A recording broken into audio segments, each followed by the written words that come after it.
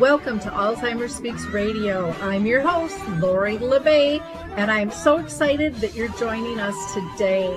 We are going to have a fascinating conversation as usual as we learn from people all around the world at all ages and stages of life. Stay tuned as we shift our dementia care from crisis to comfort.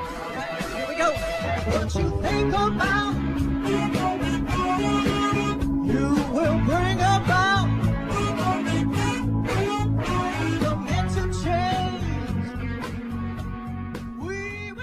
Well, hi, everyone, and welcome to Alzheimer's Speaks. I'm thrilled you can join us today. We are going to be having a conversation about practical tips and candid conversation for Alzheimer's and dementia family caregivers. And boy, we all need this kind of information.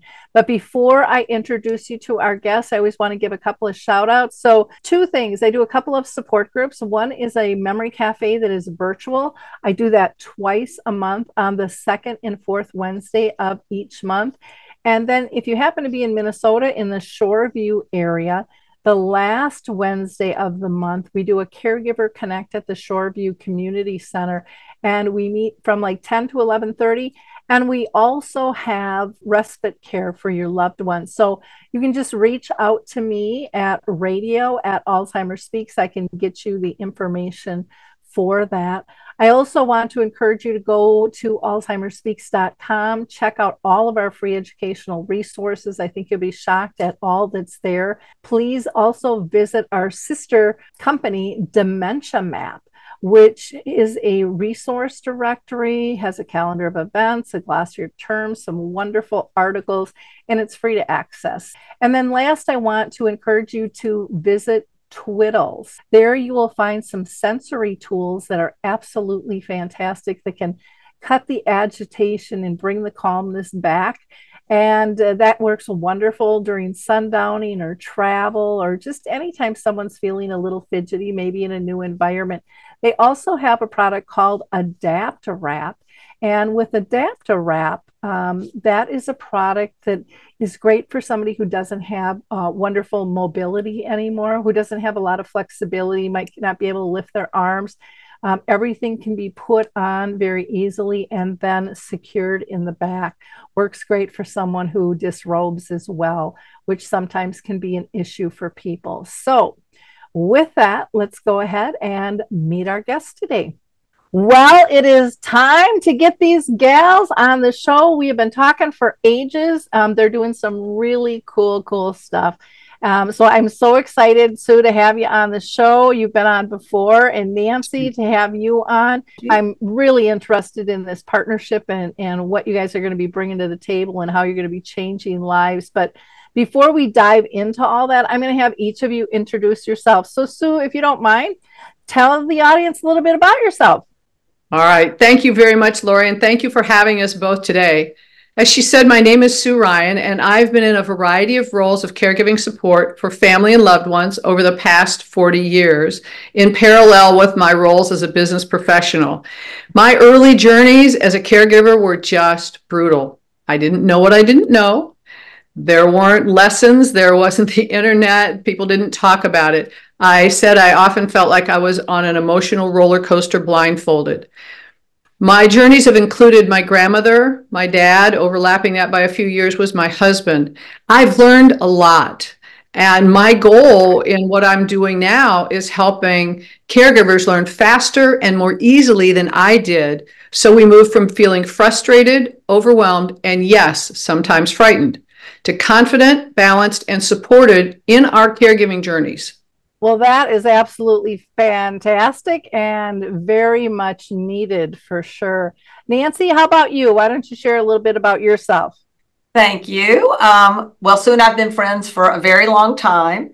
And uh, I am a recently retired software industry veteran, but I have also been in caregiving roles for about 25 years with my father, my father in law, and uh, my husband. Currently, with my husband and father in law, both are, um, I'm in the middle of both of those, one with, uh, both with dementia, uh, different kinds. And uh, I uh, also understand how physically exhausting, mentally exhausting, and, uh, you know, caregiving is. And I find that it's really important to make sure that you can find solutions to common day to day challenges. So, my goal is to also provide ways for people to, to just get day to day answers to their questions much more quickly than I was ever ever able to. So are are you two um, either of you because our audience won't know this in a caregiving role specifically right now for a family or loved one? And Nancy, I'll let you go first. Yes, I am. I am currently caring for my husband, who's uh, about nine years into frontotemporal dementia, uh, and he's here at home. And my father-in-law, who's about five years into Alzheimer's, um, I, they live about three miles away, and I'm their primary caregiver as well. Yowza, that's a lot. Yes, it is a lot. It is a lot, and thanks to a lot of support from my close friend Sue, uh, who's been through both of these things herself. Uh, I've I've learned a lot, and I'm I I feel like I'm handling it right now. Anyway, I, people ask me how things are going. I like to say it's under control because that's about all you can ask for. Okay, yeah. and how about you, Sue? For the first time in a little over 16 years, I am not in an active role. And actually, tomorrow is the one year I say we celebrated my husband's birthday back into heaven. It'll be a year tomorrow. And a man of deep faith, he didn't fear God or see death as the end of life. And so I say we're celebrating his birthday back into heaven. Oh, what a nice way to, to frame that. I like that. Um, and I think that'll help a lot of other people because that's a struggle. You know, it's uh, yeah. grief and processing that is is so important, but how we frame it makes all the difference in the world. It sure does. That. So, um, kudos. Um, I want to um, ask you guys also, how did you how did you two come together? I, I always find it interesting with partnerships. You know, are, are you neighbors? Did you meet at a conference? You know, what what happened? And um, Sue, do you want to take that? Sure. What happened is that Nancy and I had been talking together as she was navigating her journey with Kim and with her dad, and I was giving her insights into things I had learned.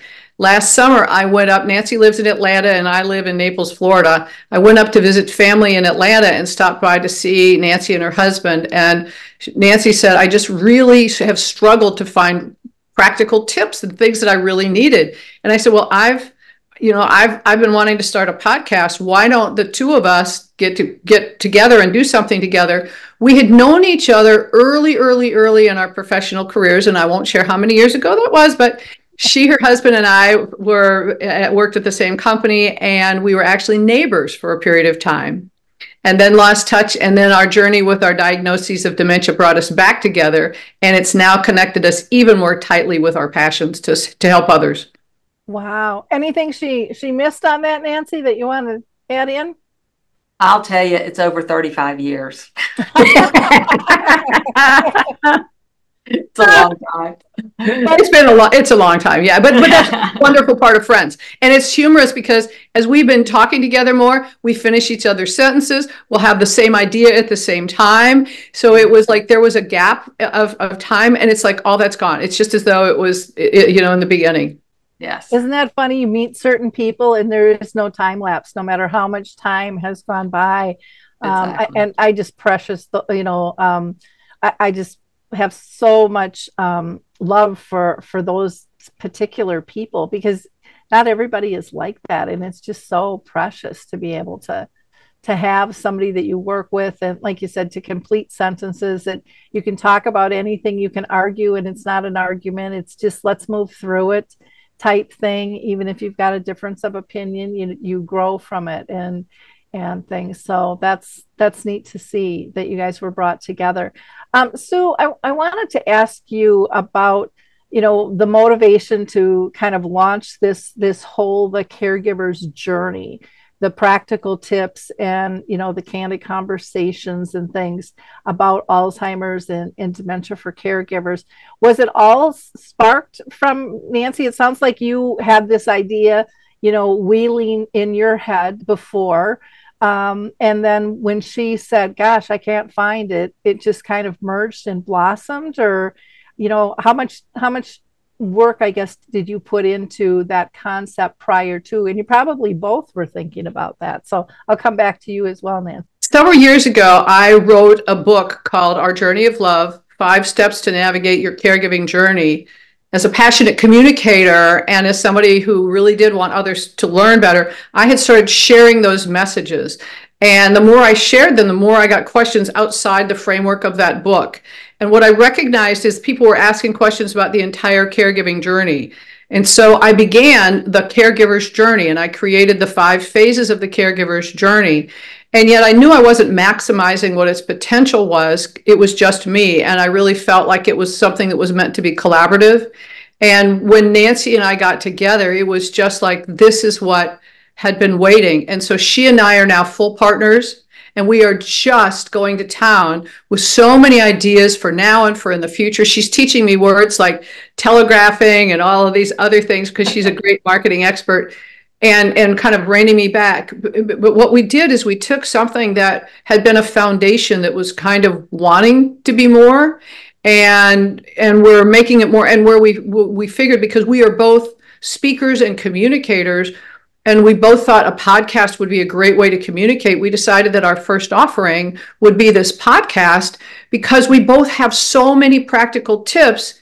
And, and this is part of the thing that brought us together even more.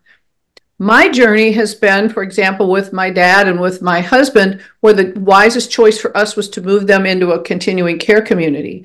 Nancy has kept her husband at home and her father in law is still at home. So we have complementary journeys and different experiences. And the practical tips we have run a really broad gamut of support for people, no matter what their choices are. And it just, every time we come up with something, it just seems like it's more, more helpful and more helpful because of the, the variety of experiences and stories we've got with all of our collective journeys over so many years.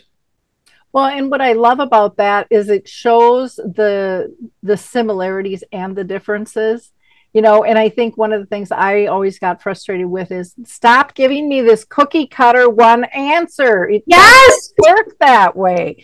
And yes. So what you guys are pulling together, it's it's fluid and you're going to have people that are in the middle of all of that too going what do we do or they're going to have multiple people you know some people rotate the person with dementia from house to house from you know the kids and i mean th- there's no right or wrong answer and it's complicated. And so we have to share our ideas because that might you know um, spark an idea for someone else that they hadn't thought of before. So that was one of my questions i was going to ask was that you guys must have had some some differences there. But i you know nancy what do you want to add to that? So i would say um, what I find most interesting is exactly what you described. It's amazing that how many of the challenges are the same, the, the challenges, but the way Sue tackled some things and the way I tackled some things, obviously somewhat dependent on the individual themselves and how they were, you know, interacting with us. So some of it is is great ideas simply because the person is different. They say if you've met one person with dementia, you've met one person with dementia, you know, and and so I think so. A lot of it is the person, but uh, her husband acted very differently than my husband did in a lot of situations. So we had very different approaches. But the interesting thing is, so many of the challenges are exactly the same. The core day to day challenges are similar. The approaches, the tips um, are uh, in a lot of ways very different. But I thought I knew because I've gone through two of these. And then Sue's gone through three solid day to day ones and more than that, but three that she had day to day interaction with on a regular basis. And I think she thought she knew. And then we share stories, and it's like, well, that's not what happened at my house, and that's not what happened at my house. And and we come up with, well, you know, well then let's suggest this, and and so let's have five tips instead of three because we've got that approach, that approach, and that approach, and it's it's really been um, insightful. I think probably more than anything as to how many practical tips are available for common day to day dementia challenges. Well, and one of the things that's common between the two of us, Lori, is that we both had a, a, a, challenge that frustrated us, which is kind of what led us to wanting to do this. Was is we would go to look for answers and we couldn't find them. Right. We we or we could find a sentence about something at a high level and it's like, okay, well, yeah, but how do you do something about it? And we both had that frustration of I wish I had known. and coming together and sharing those things. We want other people not to have to say, I wish I'd known. Yeah. And there's a there's a lot of that along with the wouldas, shouldas, couldas, yeah. you know, type deal. And and it is frustrating. I mean, that's what got me into this too, was like I didn't want others to feel how I felt.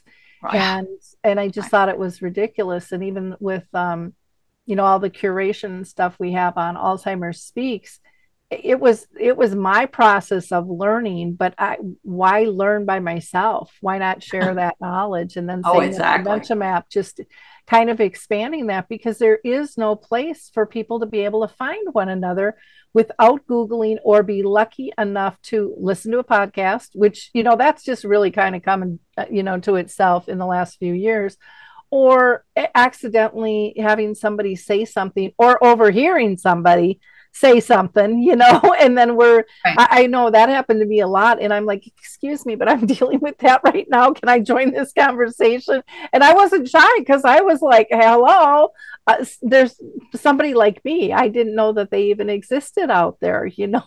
and so, um, well, I, and I, what you're doing with Dementia Map is so transformative for people on this journey and for people who will have a passion to help others on the journey. It's such a great hub to bring everyone together in a responsible way. I mean, it's it's wonderful and it's been completely lacking.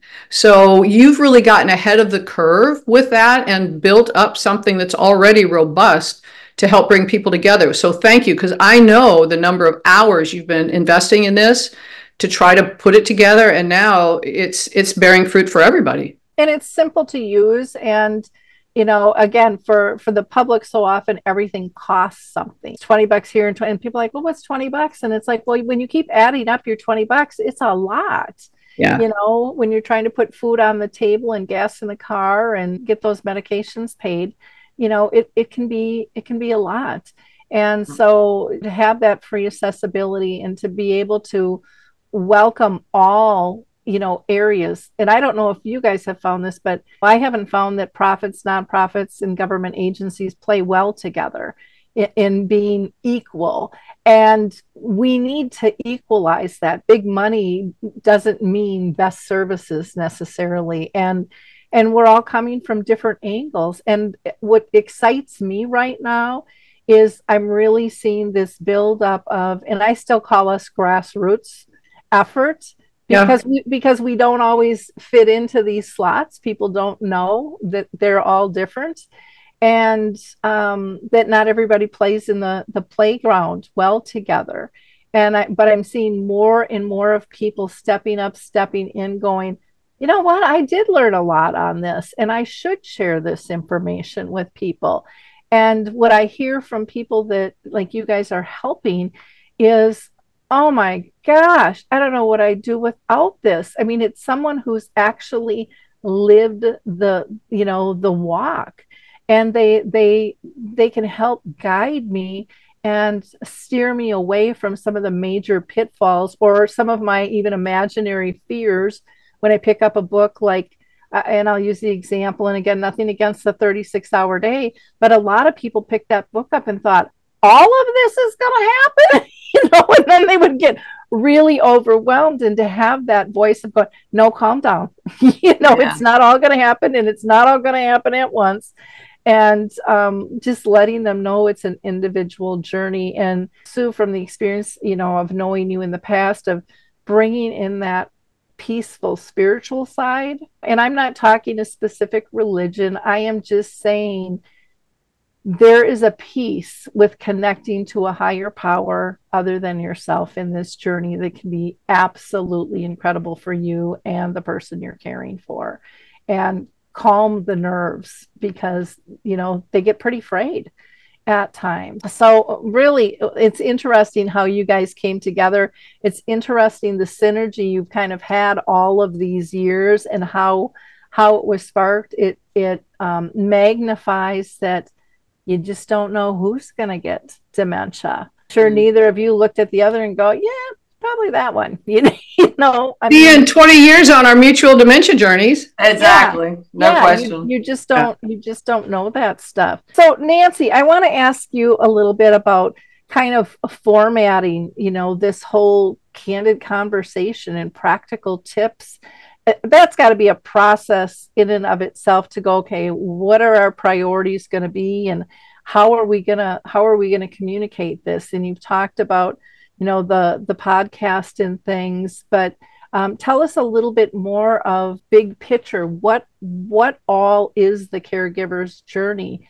and and what it offers people? So so we'll just talk about the format of almost everything we're doing mm-hmm. is because of that frustration of not it not being easy to find the right solutions to day-to-day challenges we're taking a very tip oriented target oriented approach. So um, we have a, a podcast on wandering and it's got five tips on when your caregiver keep your caregiver from wandering outside and five tips on them wandering what happens and things you can do about them wandering inside.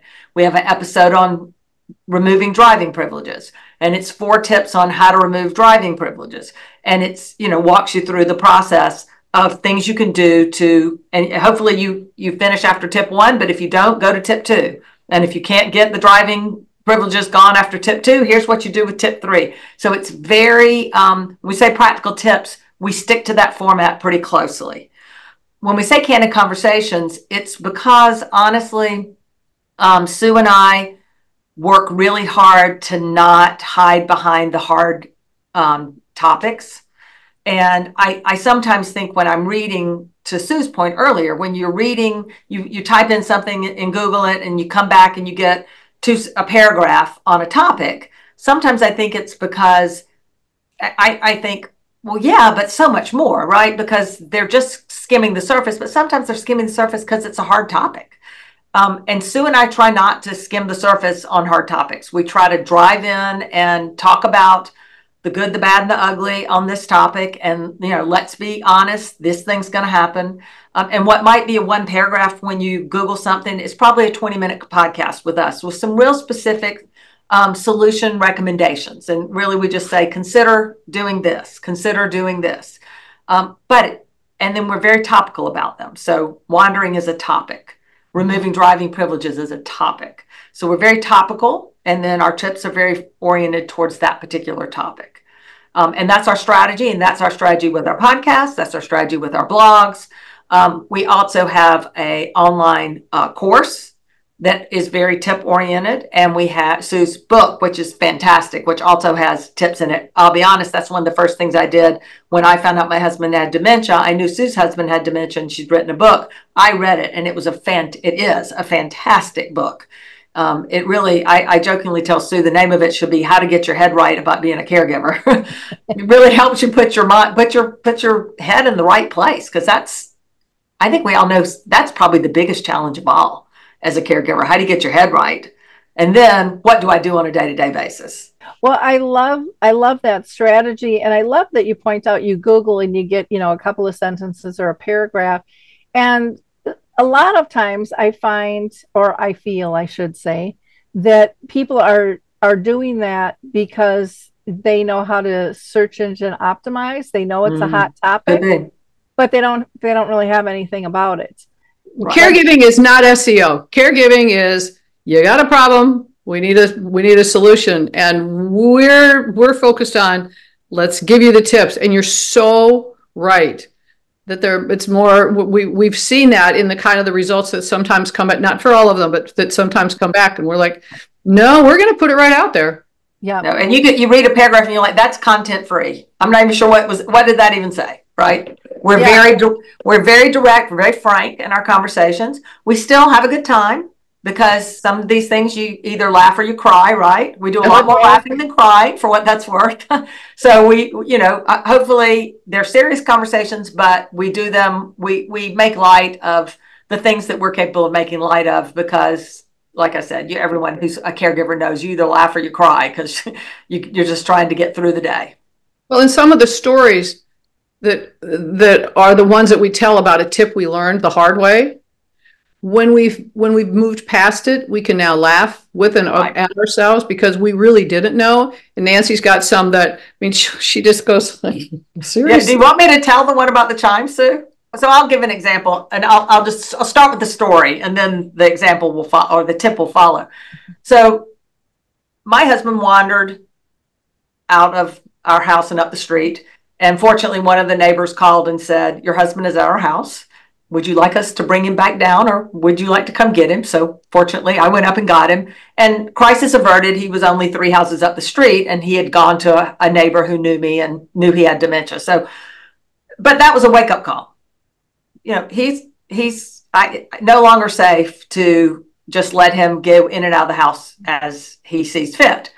So we have a security alarm, and I never turn the chimes on. So you know, they some security alarms have the chimes, so it dings when the, an external door is open.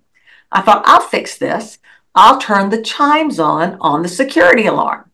Mm-hmm. So that evening, I turned the chimes on the security alarm and went to bed.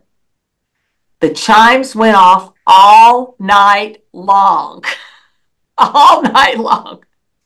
I don't know if he'd been going outside and back in for weeks and I just didn't know it, or if the sound of the chimes was so interesting that he um, decided to open and close the door on and off all night long. But I every time to, to, to, to, put that in frame of reference, though, Nancy, it was a door from his bedroom out to the porch, so he couldn't actually get out of the house but it was still chiming all night long. It was chiming all night. Oh, I had to get up every time and go see what was happening because the chimes were going out uh, off, obviously. So after that, I called a locksmith and the next morning and said, "You have to come put double double deadbolt locks on my house, where you have a key on the inside and the key on the outside, because I can't let him open. He's obviously opening closing the external doors to go outside all the time." So the locksmith came that day it's not cheap in case you know you you don't know to have double deadbolt doors deadbolts put on all your external doors it's very expensive and so i solved the problem but then not long after that i'm talking to someone in one of the support groups and they put those childproof doorknob covers on their door well those are very inexpensive by the way and i thought well there's no way he'll be able to use that there's no way that's going to keep him from getting out the door. But I had some inside doors that I wanted him to not be able to get in certain rooms anymore. So I bought some. He has no idea how to use them. I could have saved chimes, the chime deal, the double door, deadbolt doors, all sorts of things if I just thought to put child-proof doorknob covers on the doors leading to the outside. So the tip is the child-proof doorknob covers. Might as well start with that, right? But the story is uh, I took me a lot of gyrations to get there. I, I love the way you go at these tips. A lot of people throw tips out just in general, but a lot of people don't organize them in terms of try the simplest thing and the least expensive thing 1st mm-hmm. Exactly. You know, and that's that's huge. And if you you know if that doesn't work, then okay, go to Plan B. Okay, mm-hmm. C's here, D's here too. Exactly. For, for you to be able to find. So that's a wonderful, a wonderful approach. I I also like that you've got the the blog and you know you've got the course and then of course Sue's book as well. So I mean, there's a lot within this platform and this company that you've created uh, to offer because everybody learns different. Somebody might want to read a book. Somebody might want to go to a course. Some people might want to just listen to the podcast when they're going for a walk or whatever. And others like me, you know, you want all of the above because I need the reminders, you know, and all the different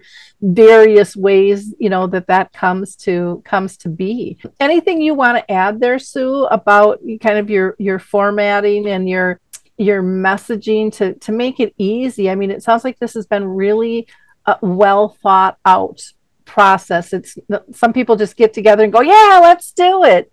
And then they're just shooting from the hip. But you sound like you both applied your your business acumen and said, no, let's let's make a, a formal plan here and be consistent with this.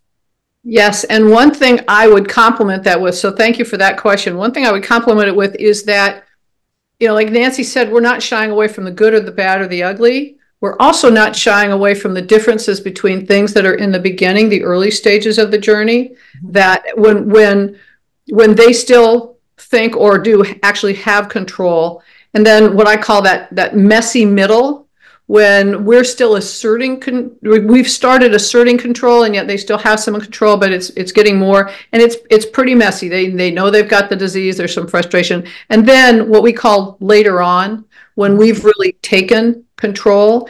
And the tips are different based on the different phases that they're in.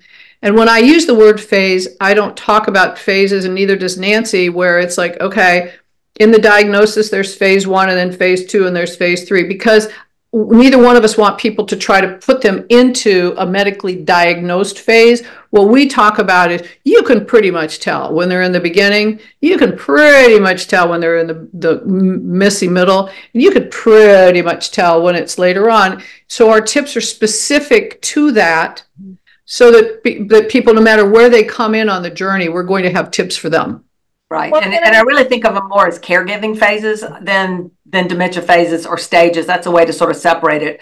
You know, in the beginning, you're helping them maintain their independence, but you're behind the scenes like uh, the duck under the pond. You're paddling as fast as you can, try to help them think they're independent anyway. And then, as Sue said, the messy middle is uh, is messy, as we know.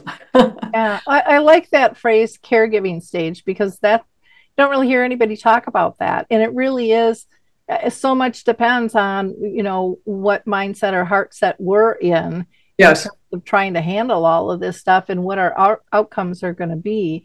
And you know that's critically important. Um, if you're just tuning in, we have been talking with the founders of the Caregiver's Journey, uh, both Sue Ryan and Nancy Treaster and uh, fascinating conversation. And they are launching this wonderful new program that is going to benefit so many people. Nancy, do you want to tell us how people can reach you? Certainly, we'd love to have them join us. Uh, we are on uh, our website at the the caregivers with an S journey.com. Um, you can also find us on Facebook at the Caregivers Journeys with an S on both, Caregiver and Journeys, and then Instagram at the Caregivers Journey. Okay, wonderful. And then um, Sue also have you have your own website. Yes, it's Sue Ryan dot solutions. Okay, so thank you. So again, check them out. And Sue's book, I'll just mention, is Our Journey of Love Five Steps to Navigate Your Caregiving Journey as well. So um, lots of good information there. I want to just add in, um, and we were talking about this earlier, but I want to give a plug for uh, Q for Good, which is a webmaster and they just do an absolutely fantastic job. So if you're a caregiver or if you're a professional and you've got a website and you want to reduce your stress, these guys are mm. amazing. Um, I have had a lot of bad experiences over the year, and uh, I just highly, highly recommend them. And they love working with companies that are kind of joining forces for the greater good as well. And I really appreciate that about them as well. So I just wanted to pass that along and let you know too that if you mention my name, you can get uh, 10% discount. So that never hurts. Things are expensive these days. So, you know, to get good quality and get a get a break. Nothing wrong with that at all. Uh, let's get back to our conversation. Sue, I want to ask you about you know what lessons did you guys probably learn from one another in in this project of melding together I, I just i can't even imagine all of the wisdom that you guys have shared in the aha moments as well as i do that too yes I think that there's a, a mutual lesson that we that we each had learned separately and we were modeling and I had put a little bit more formal structure around it and yet Nancy was modeling and it was great. And that is that I learned in my journey, especially from an experience with my dad where I felt like I was really letting him down, mm-hmm. That that if I just completely accept in the moment exactly what's happening without judgment of myself or the situation or anyone else. I'm not wishing it was the way it had been.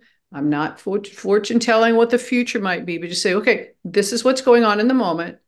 Then I have the ability to just be in the moment, be fully present in the moment where are they in the moment so I can get at their level and be with them wherever they are in that moment and make the wisest choices. And what Nancy and I recognized, and what we've kind of observed from each other is while we had languaged it differently, what we had both learned is the importance of that and how much it changes. You're not fighting things.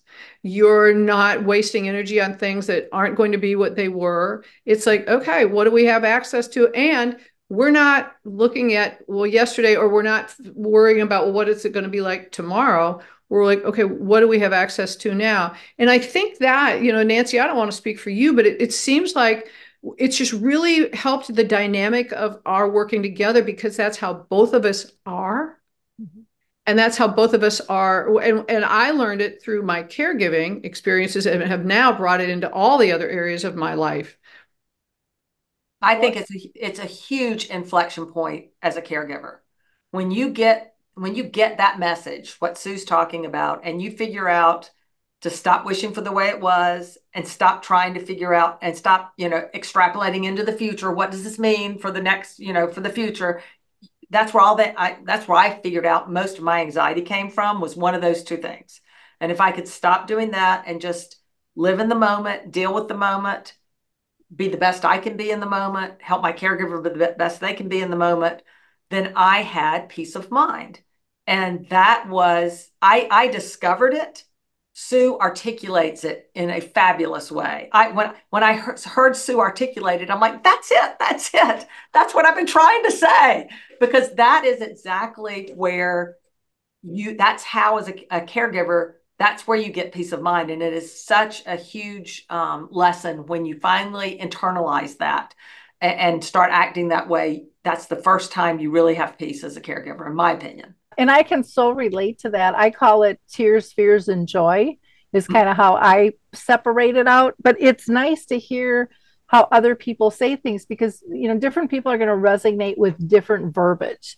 Right. And, you know, but yet when they're listening, and most of them are going to, you know, listen to multiple podcasts and talk to various people in the industry and go to different support groups and and those types of things. But from the care partner, you know, care companion, caregiver, carer, whatever you want to say, it's reassuring that, oh, they're saying the same thing, just differently. It really, I think, gives such a calming um, relief, and you feel like this is a team sport, you know, and people are sharing. And then I also think that it inspires people to now share what words do they use to describe this? Yes. And they're more comfortable sharing the information that that they've heard and that they feel for themselves. And and so to me, and in no disregard to some of the large organizations in in different ways, but you know, I kind of break down the industry into, and I'm sure there's more ways to segue this, but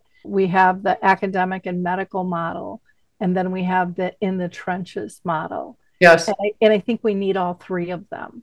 Right. And I and I think the storytelling from in the trenches is just mm-hmm. starting to see the light in the past few years because people well they didn't have a platform to speak on and you know now podcasts are get, becoming easier to do or you know they felt they couldn't do it but they're seeing more people doing this and and they're feeling i think more comfortable being able to listen to something like this too you know, because it doesn't typically cost them money and it, and it's flexible and fluid in terms of when they can listen, sure. how they can listen, if it's on their computer, if they're going for a walk, if it's in yep. the car, you know, the accessibility is just there. And then I I think too the beauty with the podcast is they can hear the inflection of the voice. And then if you have a video podcast, then they get to see it as well. So all yes. of those levels mixing together, I think have a huge, huge impact. Just kind of like with a person with dementia,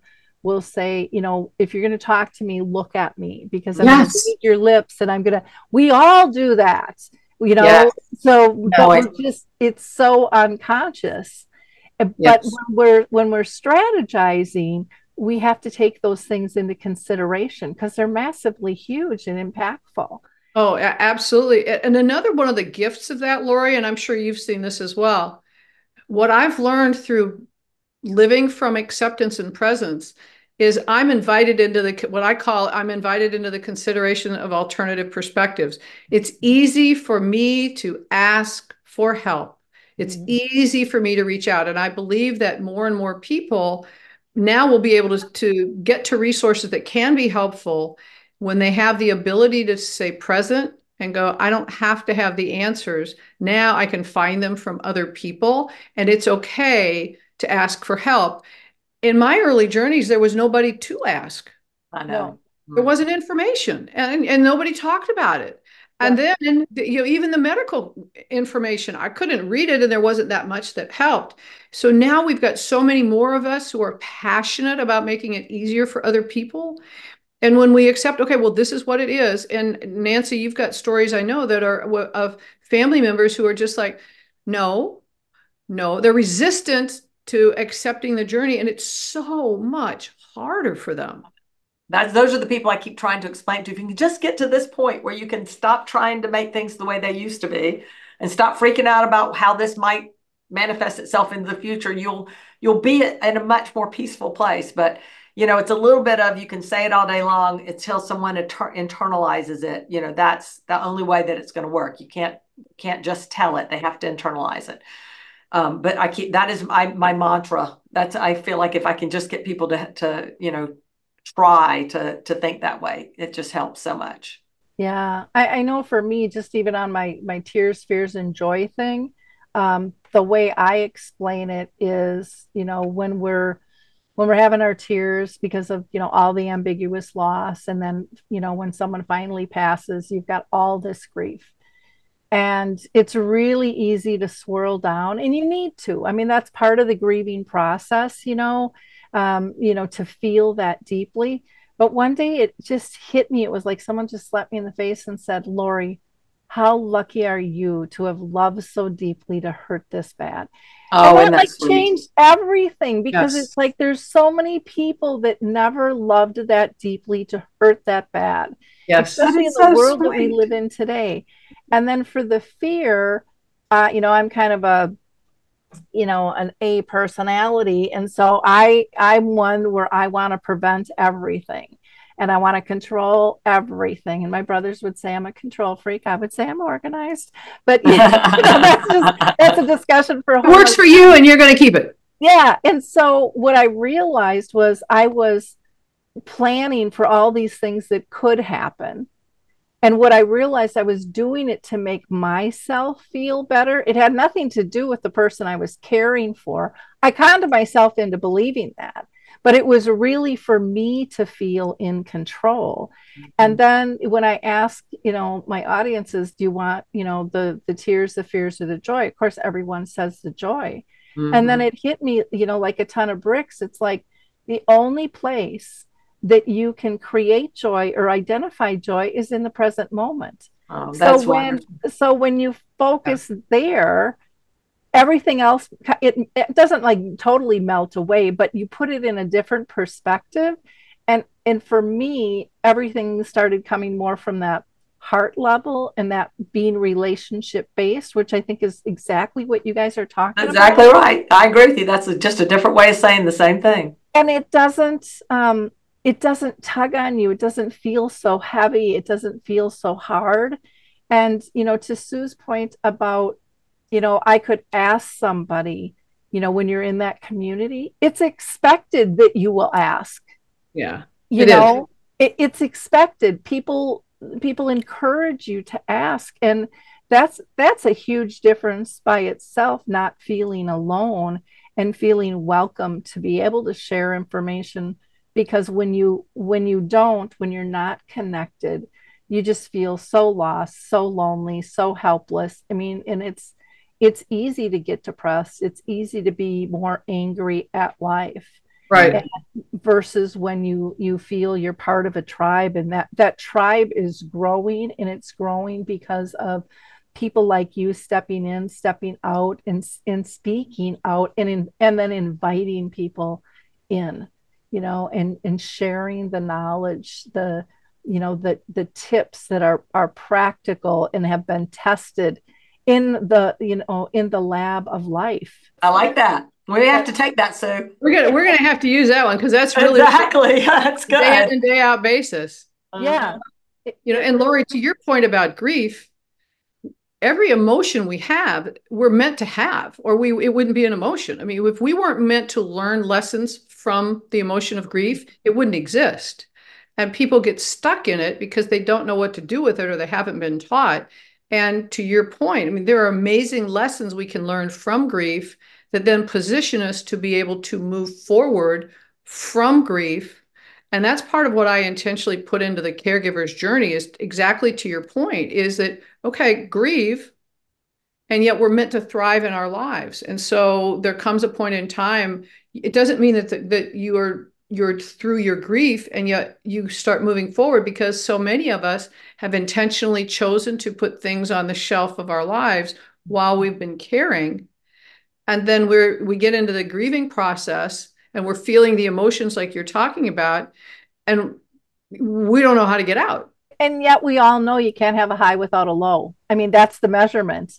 Yeah, and so. You know everything isn't going to going to last forever but i think when we're dealing with illness especially a chronic illness um, and we're caring for someone else we put ourselves in this high level of everything has to be perfect. Well, hello, sweetheart. Life wasn't perfect before dementia hit. So why are you putting that expectation on things now? Not a good idea. well said. Well said. Right, for sure. Yeah, absolutely. Yeah, yeah.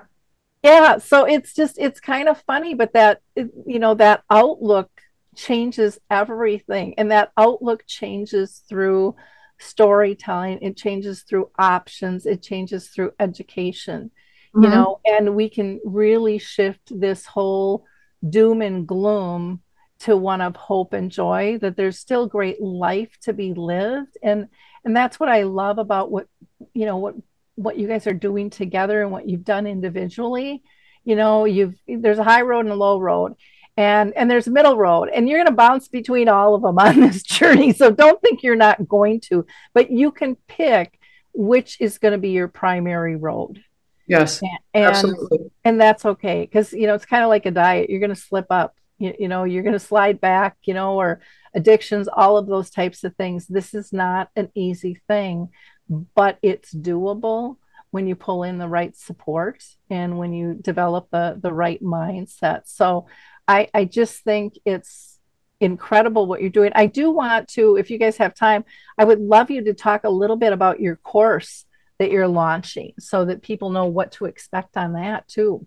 I created the course, The Caregiver's Journey, with the caregivers in mind, going through the different phases of the caregiver's journey. And it starts with, you know, the, the I call it the caregiver's primer. So some of the things that you can be planning for ahead of time or that all of a sudden when you, there's the diagnosis and you want a phd in being a caregiver and a phd in the diagnosis so things that there and the, the whole structure of all the phases of the course are based on as caregivers we're busy so the lessons are short they're focused on again giving tips and things to do i created them in an audio format a video format i've got the printed pdf i've got work guides so, so, uh, you know, if you're sitting in the doctor's office, you could be reading something. If you are working out and you want to be listening to it. So I created with different mediums, all with very short lessons to give people, again, these practical tips about all the phases. And so there's the caregiver's primer. And then the other thing that I felt was really important, and, and so many things we've talked about today model that, is called uh, it, it's it's understanding ourselves in a meaningful way. And it is understanding that we're naturally wired to view the world differently. We deal with stress differently. One of the most important things that will save our energy and help us on our journey is not trying to be like someone we're not. Is not, well, gee, they're able to do all these other things and I get all upset and everything. So it's it's really recognizing ourselves. And then there's again the, the steps for the messy middle. And then I I created the fourth phase, I call it the grace of grief and again, grief is an emotion that we are meant to have. It's got lessons for it. Like you said with your husband, you know, how, how blessed you are and your mom, you know, how blessed you are to have moments of pure love. And I felt that way uh, about my husband. And then moving forward, we're meant to thrive in our lives. So it's helping you then figure out how to start choosing the things you want to bring off the shelf or things that you're like, you know what? I, that's not a part of my life anymore. And so it, it helps you to realize it's okay to move forward. And so that course is something that just really gives people, no matter where they are on their journey, some some uh, strategies, some tips, some guides of things to do, and lessons learned.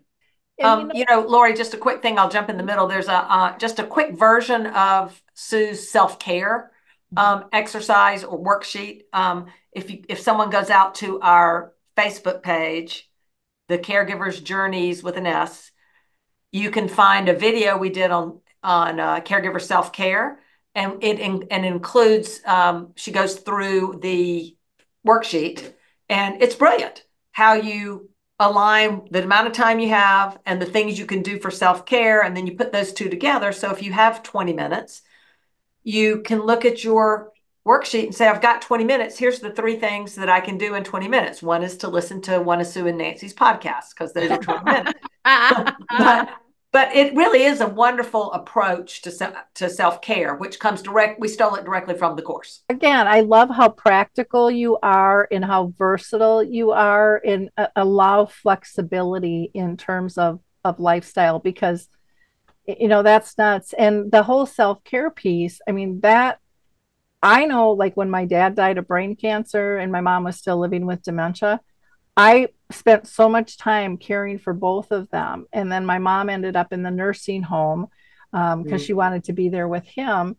My life changed so drastically i didn't even know who i was. Yes. I, I, I didn't i didn't even think about self-care because i didn't even realize i wasn't doing that you know? But i heard and this is this is kind of an interesting story. I heard years later i was i was selling real estate and i had um, clients who had bought and sold multiple homes with me and i ran into them someplace and uh, you know we were having a cocktail or something and the the wife said gosh you've got beautiful blue eyes and i said oh thank you and and then i made a joke like well i always have and she said no you haven't wow and I, and I said well what do you mean and she said lori we always loved you and you always had a bubbly personality, but your eyes were always dark.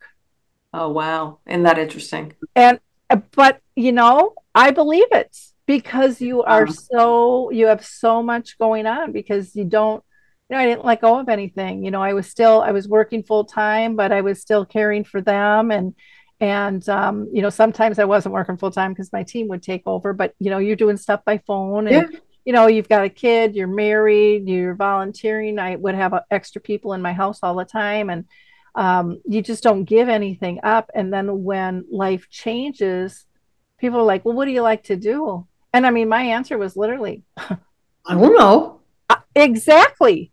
Yeah. I haven't asked myself that question in years. Yeah. You know, yeah. and people are like, "Well, what, what do you mean?" And I'm like, "I honestly don't know." yeah well, I you, am anymore. You, you put so many things on the shelf and the philosophy that I, you know, I came to, and I certainly didn't originate this, but self-care is not selfish, it's mm-hmm. Self-love. Mm-hmm. And if we keep shaving things off, sooner or later we've shaved off more than we can and stay healthy. And when it when we've shaved off too much, it is not pretty. Yeah. You've learned that.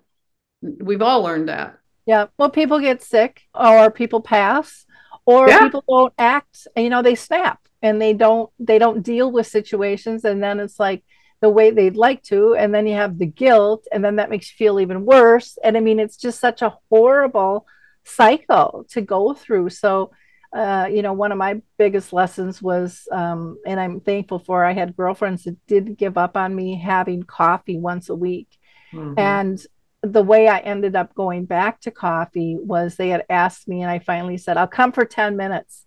They like roll out the red carpet. Here comes Lori. She's going to give you 10 minutes of her time. And I mean, I was kind of cocky when I said it. it. It was like, okay. But my intent was to get them off my back so they would not call me anymore because I felt so overwhelmed. And I'm like, I can't do something for myself. How many times do I have to say this? Oh. And so I went to that coffee I stayed two hours and we laughed and we cried together. Wow. And I never missed another coffee because wow. I, it was the coffee in meeting that made me realize how empty I had become. and you know that's kind of a slow drain. You don't. Uh, anyways, I didn't notice it. It is a slow drain. and it and it was like, uh, oh, I feel like myself again. I mean, I Yeah. I did. You know, I mean, I literally said that to myself. I told somebody one time I found Nancy. I don't know where she's been, but I found her. Um, I went to lunch. I had some friends ask me. They used to always ask me how I was doing. I'd say I'm fine because that's what you say, right? Yeah. And um, and finally they insisted I go to lunch with them. So we went to we went to lunch. This little group of of friends, and they asked me how things were going, and I burst into tears. I didn't know I was going to burst into tears. I think I was as shocked as they were that I burst into tears. And that same group of friends this has been probably three years ago. I still go to lunch with about once every six weeks. Um, and and the good news is I'm not the center of attention anymore. For week for the first six months, it was all about me, right? So now it's not all about me anymore. Things have gotten much uh, much more normalized. But it that your friends didn't give up on you, and you know that makes a big difference because if they'd never forced you to feel guilty about not going to the coffee, you would never have been put back in that situation. Yeah, and like I said, uh, my intent was just to get rid of them, just get them off my back, you know. And and then yet you sit down and you see see the smiles and you you feel the energy. Mhm. You Well, the other part of that story, Lori, that is so valuable for us as caregivers is that each of us in our lives has seasons when we have the capacity to lean in and help others. Yep. And there are seasons in our lives where we benefit from those who love us, leaning into us. And that's what friendships and relationships are. And one of the things that makes me sad is when you have somebody who hesitates to take to accept help from others when they are the first person who would offer to provide help to someone else. That we tend to have these skewed perceptions that we uh-huh. should oh, bad word, be able to do it all on our own, or no, we're not going to burden anyone else. And yet, like both of your stories are, people really, really, really want to be there for us. And then in the course of our lifetimes, there will be many times when we're able to then be able to be there for them as well. And that's where these long term relationships are. So, you know, great lessons learned. Well, and we don't realize that we're actually can be offending our friends. Like I thought we were closer than that. Why wouldn't they let me in? You know, and and we tend to ignore the fact of why we help because it makes us feel good. Yeah. You know, and and so that's part of what you do. You you know you you hold together your tribe and you honor them. And we're taking that away from others, and that's a conversation that needs to be talked about more too. So We I'm a big proponent of creating a support team around you of your friends Mhm. and your family and get help and be be good with it. You know, look, I think the point's valid, which is who's the first person who would give help? Sue Ryan. She's the first person to go help someone. And yet, you know, when other people are offering to help you, you're like, oh no, no, don't want to bother you. But she's a great proponent of don't go that path. Let everyone who wants to help you, let them help you. Find something they can do. Well, and I think some of it is just the the stigma that we don't even recognize as stigma and the myth of life that that we are here to do everything on our own and be independent. You know, the Mhm. game of life is a team sport. Hello. you know, and, and you're gonna you're gonna switch teams that time. You know, you're gonna switch roles. You're gonna be the coach, you're gonna be the player, you're gonna be the goalkeeper, you're gonna be all kinds of things at different points. And and that's the experience of life Yes. You know so um gosh ladies what a wonderful conversation any last thoughts I would just reiterate our goal is to help dementia caregivers have fewer surprises. So, to help bring up whatever the topics are, give practical tips, have candid conversations, and have fewer surprises. So, to make their their life easier than Sue and I had it, um, that's part of what we want to make sure we're accomplishing here. wonderful and sue how about you and Just one of the things that sometimes people confuse or they don't understand is that when we talk about dementia, dementia is the overall arching uh, umbrella. My husband um, had Alzheimer's disease, so it's all the different types. Nancy's father-in-law has Parkinson's. Her dad had Parkinson's, so it's it's all the different types of dementias. And we specify that area because that's where we have so much experience in. And yet it's not, you know, there's frontotemporal lobe dementia there, there's the dementia with aphasia, there's the Alzheimer's, there's dementia with Lewy bodies. We've got expe- experience in a variety of those different types and areas. And mm-hmm. so our our messages to su- are there to support all of them. Exactly. And again, it takes a tribe to to get through this.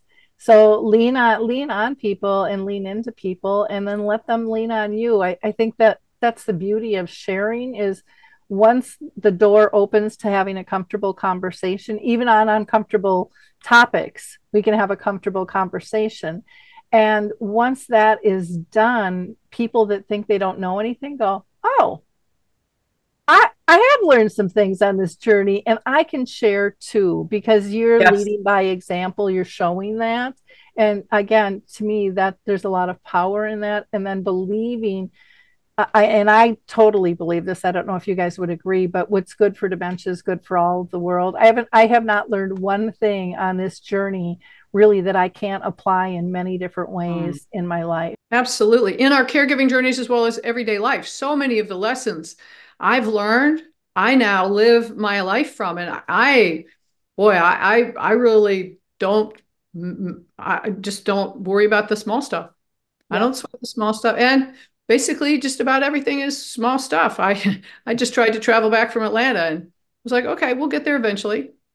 Uh, you know, Lori, I love that comment. I, I, feel the same way. I've learned so much about having a positive look on my face, using positive language, saying thank you, good job, you know, all those things to reduce the fear and anxiety in my husband. And yet they make you feel better and you feel more positive. And I find myself using them with everyone now. Yep. Uh, you know, you what's wrong with that? Say being positive and saying thank you and good job all the time. Nothing. It's a great yeah. idea.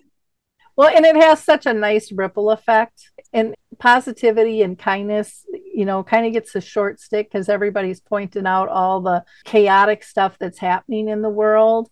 But boy, you know, that kindness, because we live in a really rough world these days, makes such a huge impact. I mean, it always has.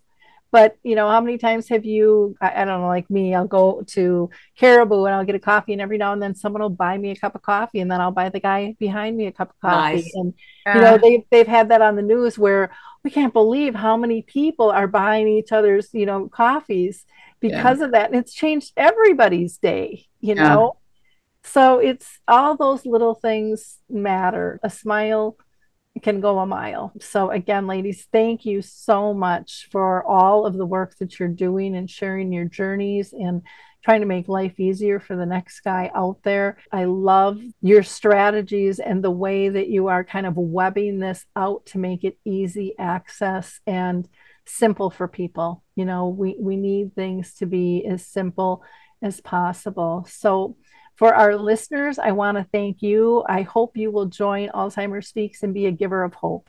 You know, like, click, and share because there are people in your spheres that need to hear this information. You know, it's it's not about chasing the numbers. Never done that. It, it's not about that. It is about helping the next person who may be dealing with this already that you don't know because they don't feel safe enough to even talk about it. That's mm-hmm. got to change. And we can all have impact on that. So, and then last, I just want to again say, you know, go visit their website, the caregiverjourney.com. If you go to Facebook, it's journeys with an S. Um, they are also on Instagram and then uh, Sue Ryan solutions. You can go to that as well to to get her book. But so many things that they've covered. And again, um, go to that Facebook page and you know check them out and look at that video on self care. There isn't a soul out there that doesn't need information on self care. I don't care where you are in the journey. You might be feeling like you're handling it now, but you're going to need it again later because this this ride's a roller coaster, baby. you know for sure. So thank you so much, ladies. Thank you, um, Lori, for having us. And thank, thank you for giving us the opportunity to help share with your community. Well, I am I am thrilled to have it have uh, this available to my audience. I just think it is so critical for people to be able to connect because none of us none of us own this space, and people have a right of choice. You know, they're going to align with different people at different times, and that's perfectly fine. And they're going to tap into multiple things and you know we have to be collaborative instead of um, right. there's some people in companies that think that they own the space and they they kind of get their you know, hairs on the back of their neck uh, rattled up and rised up because of competition. And yeah, I just don't look at us as competitors. There's there's way too many people that need the help, and we're all doing it, you know, twisting it in a, a little different package. Sure. And that's a good thing. That's yeah, that's what Sue always says. Sue always says, look, you know, we're going to reach out to every other dementia podcaster we can find because we want to connect as many people as we can to hopefully what we're doing that might can help. But there's no there should be no competition. Everybody's trying to do the same thing we we yep. believe. Everybody's trying to get to those poor caregivers who need the help. As i say we're all on this journey together. She yep. sure does. Well thank you ladies. Appreciate it so much so, one last time, I'm just going to mention uh, please head over to alzheimerspeaks.com. Check out all those free resources that we have, as well as dementiamap.com. We'll talk soon. Bye bye.